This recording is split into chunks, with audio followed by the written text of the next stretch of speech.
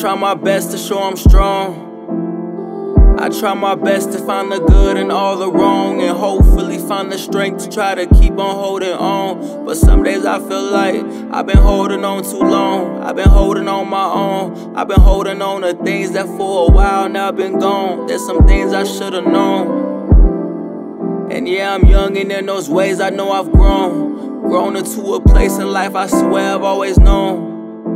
And you got expectations just like me. There's nobody that wants more for me than me. There's no limits to the person I can be.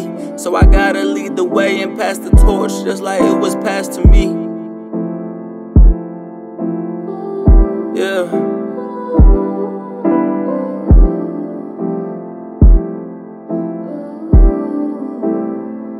Yeah. I'm surrounded by these people that I love.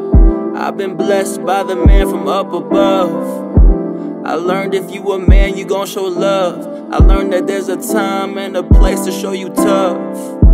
I learned that it don't matter where you from. I learned if you on top, then you should pull somebody up.